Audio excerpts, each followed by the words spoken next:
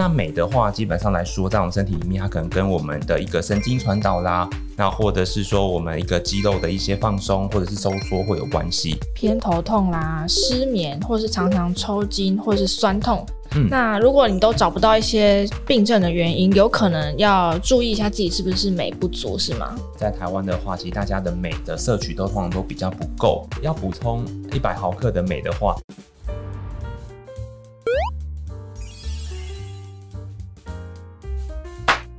Hello，大家好，我是小田。大家一定都有抽筋啦、肌肉酸痛这样的经验，但没想到这些竟然跟身体缺镁的讯号有关系。根据卫福部的统计，台湾人平均镁的摄取量大约只有建议量的百分之六十，普遍摄取不足。这一集我们邀请到功能医学的专家欧汉文医师来接受我们的访问。医师好。哎，小天好，嗯，各位观众大家好，我是欧汉文欧医师。医师，大部分的人对于镁这个营养素应该算是非常的不熟悉。嗯，是。这个镁它到底是要做什么用的？好，那其实还蛮多人都会可能会听过钙这个营养素，但其实镁是它的好朋友，所以其实我们都说，哎，钙跟镁这两个可能是需要一起吃，那他们两个才可以一起在身体里面做一些作用。那镁的话，基本上来说，在我们身体里面，它可能跟我们的一个神经传导啦。那或者是说我们一个肌肉的一些放松或者是收缩会有关系，所以常常我们身体里面如果缺镁的话，你就会发现说，哎，肌肉好像特别容易酸痛，或是有些人可能半夜睡觉或者是常常在运动之后发现啊，突然抽筋了，其实这些都有可能跟我们身体缺镁会有些关联性，还有很多的一些状况，像是比如说第一个在我们肠胃道的部分，可能有些人会觉得哎自己肠胃不太好，常会有些拉肚子或便秘的状况，可能是缺镁。好，所以像有些人不是，哎，他可能没办法正常的排便，那他可能就会吃叫做氧化镁的这些药物，它其实是帮助我们排便。那再来，它有可能跟我们身体疲劳会有些关联性。那再来的话呢，其实镁呢，它也可能跟我们的一些精神情绪会有关系。像如果说镁比较不够的话呢，我们其实我们会比较容易焦躁一点点，会心情会比较烦躁。那再来呢，可能镁会跟我们的一些睡眠会有关系。那最后呢，其实镁可能就跟我们这些心血管疾病有关系，所以像是一些心律不整，这些都会有一些关联性。所以我们可以解读成说，像是如果有偏头痛啦、失眠，或是常常抽筋，或是酸痛。那如果你都找不到一些病症的原因，有可能要注意一下自己是不是镁不足，是吗？嗯，对，因为其实的话呢，嗯，就像刚刚小天在前面提到的，其实我们在台湾的话，其实大家的镁的摄取都通常都比较不够。那其实在这个时候，如果像我们刚刚提到这些上述症状的话，其实大家可以去思考一下，说，哎，搞不好会有镁的缺乏。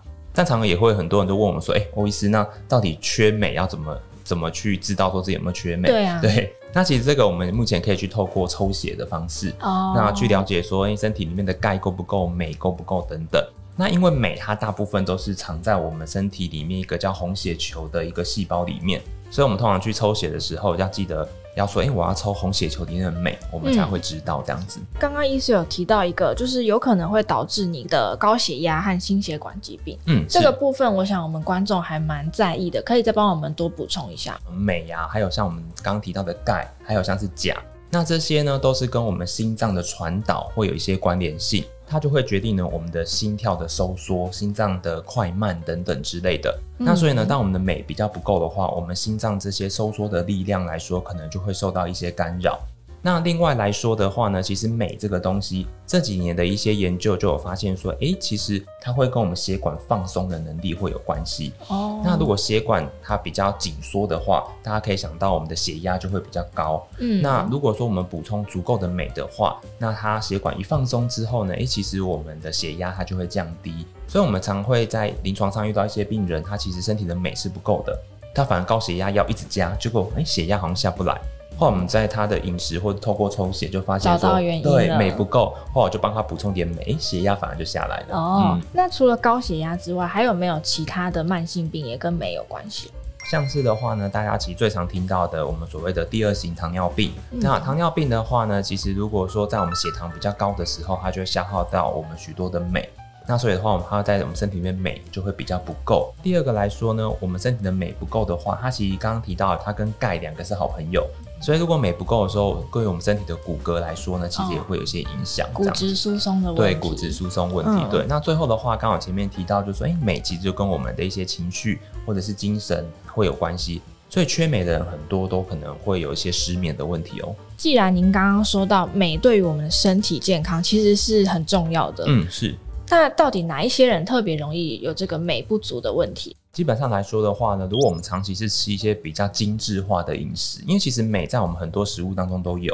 但是它被我们的一个加工之后，那其实镁它会逐渐丧失。那丧失的话，所以我们等于说常常吃这些精致食物的话，那可能就会去让我们的镁摄取不够。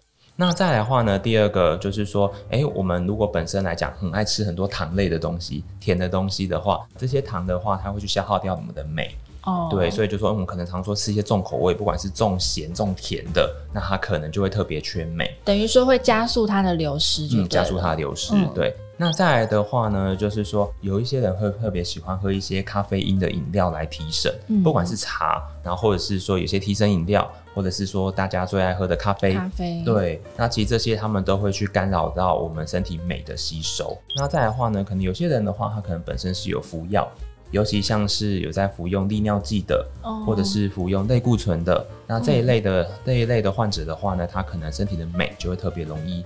流失。通常医师这边会建议说，大家镁的摄取量可以怎么样子的来注意，说自己够不够。那饮食上的话，要怎么样来补充？我们国民的营养署，它其实健康署其实它有规，它有一个建议啦，就是说，嗯，我们大概成人的男性大概每天可以补充三百八十毫克的镁，那女性是三百二十毫克。那如果说你是孕妇的话呢，可能会建议到三百五十五毫克。那可是大家听到这个数字，可能都很没有一个 观念的。我要我要怎么知道我有没有吃够？对，好，那呃，基本上来说的话，我们大概要补充一百毫克的镁的话，你可能蔬菜要吃一盘。要吃一大盘这样子，对，那蛮蛮多，那还蛮多。就是他说，哎，那我每天要吃三大盘蔬菜。大家一听到说，哎，这绝对不太可能。对，那其实的话，大家就比较不用担心啦，因为其实每我们到处什么食物都有。比如说，我们只要吃到深绿色蔬菜，嗯，那其实大部分里面都会有，像是呃菠菜啦，那或是像是一些比较深色或带红色的，比如说我们说红苋菜、红凤菜，嗯，对，这一类这一类的蔬菜其实里面还蛮多的。那再来的话呢，就是一些坚果类。其坚果类里面还蛮多的，譬如像是什么奇亚籽啊、南瓜籽等等之类，或者是说像我们常听到的核桃、那些杏仁等等。那再来的话就是全谷类，饭里面来讲的话，它就含有一些镁在里面。但是呢，我就在那边跟大家提醒一下，就是说，因为我们刚才前面有提到，就是说精致化的精致淀粉，它的镁的含量就会比较少一点点。所以我们就研究就发现说，哎，其实你白米跟糙米饭。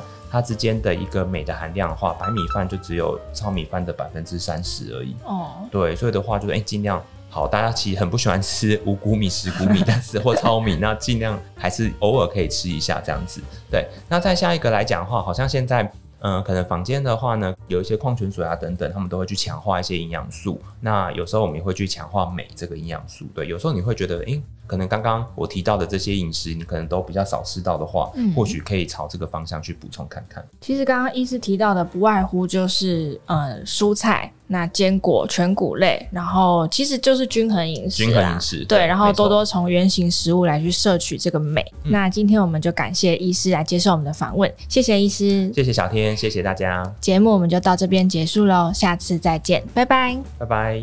如果你喜欢早安健康影片，请帮我们订阅、按赞，要记得打开小铃铛才会收到我们的最新通知哦。